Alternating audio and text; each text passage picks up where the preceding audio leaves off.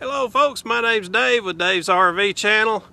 Hopefully I can help you out with something that's uh, been problematic for a lot of people, leaky shower.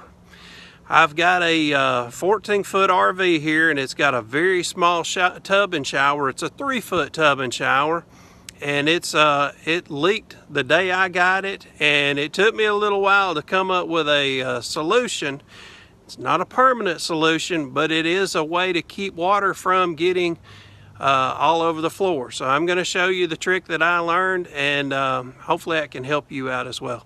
Um, I will be doing a permanent solution soon, but this got me uh, as a quick fix and it's worked well. So here we go. Okay, so here we are in the shower. And right here is where water was constantly dripping out. Now, if you see this, please don't stop the video thinking, oh, that's all I got to do, because no, that did not work either. That did slow the water down, I will say that, but it did not fix the problem. What the problem is, folks, this right here, this entire lip, has the wrong pitch on it. It is angled down this way, and it should be angled this way. If you think about it this way, as water comes down this wall here and gets on this lip, it should go back into the tub. But if you look at it, this angle is about 5 degrees, maybe 10, going back towards the wall. Unfortunately, when they installed this, they did not install this correctly. And the way to properly fix it is you're going to have to undo all of these screws down through here lift up on this edge and then reassemble. Now, I'm going to show you a way to quickly get around all of that. If you are like I was, I had to fix this thing out, out when I was doing a trip. I tried all this silicone through here. I tried it all down through here. I put this dam up. That still did not fix it. It did slow it down some. But I'm going to show you the quickest, easiest trick that I came up with. And I apologize for the lighting, folks, but uh, you know, you got to realize I'm in a in about a three foot section here and I do not have very good lighting. I took some Gorilla Tape and I taped the shower curtain to where once the water come out of that shower head, it had no option but to come straight down this curtain and go down into the tub. Now, let me show you from the other side what I'm talking about. I come over here and I get my water setting the way I want to and when I get the temperature the way I want it then when I pull this up as long as I keep that shower head in the off position it's going to stop the water flow. So I may get just a little bit here splashing as my hand is getting the temperature, but that's nothing compared to what you get from a shower.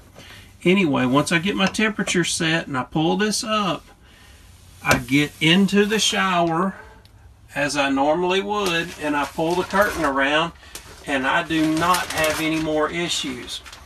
Now, if you notice this lip goes all the way around this entire tub. So if that angle is incorrect all the way around this entire tub, it will still run to this point here and run out and it may even do it on the um, on the back side of the shower meaning back there I would call this the front and that being the back but it can run out anywhere and it's all because they did not pitch this correctly. If your RV is still under warranty, I would highly suggest taking it to the dealership and getting them to fix that because it's not going to be fun. I can tell you, for one, this plastic right here is completely bottomed out here. So once I undo this and I try to raise this right here up, I'm still going to have to shim this down. I'm going to have to cut this down some so that it will fit under this uh, uh, faucet. So I feel like that's the problem is they pushed down on this so that they could get this piece of trim in here. And when they pushed down on it, that caused it to have the wrong pitch. If you uh, could do fiberglass work, you might could scuff this and, and lay fiberglass in here just like Bondo and feather that out and get the pitch that you want. That may be the way you want to do it. That's, uh, you know, I, am just showing you what I found. But uh, this trick that I did with the shower curtain, it works great for me. As long as you keep that shower curtain to where it's on the on this side of the shower head. Now I can't take it down. I can't uh, I can't move the shower head around like I would like to. You know I am stuck with it in that position, but I do not have to worry about water coming out here. So hopefully uh, hopefully that'll help you guys out as well.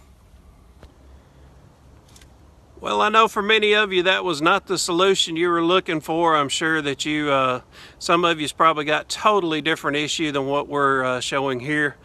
And uh, hopefully I can come up with you an answer for yours as well soon. But for the those of you that have the same RV type unit that I have and shower unit, uh, you can take a look at yours and you'll easily see exactly what's going on with yours. I'm sure it's the same thing I've got going on with mine.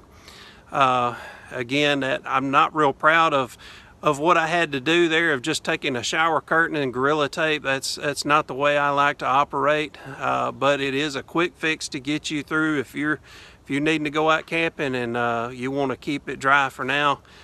That quick fix to get you through until I do a video or until you figure it out or however. Hopefully we can both get ours fixed and uh, everybody be happy. So thanks for watching, folks. Uh, I really appreciate it. Hey, if y'all hit the like and the subscribe, maybe I can have another video out soon that can help y'all in some other way. Thank you so much, folks. Y'all have a great day. See y'all soon. Bye-bye.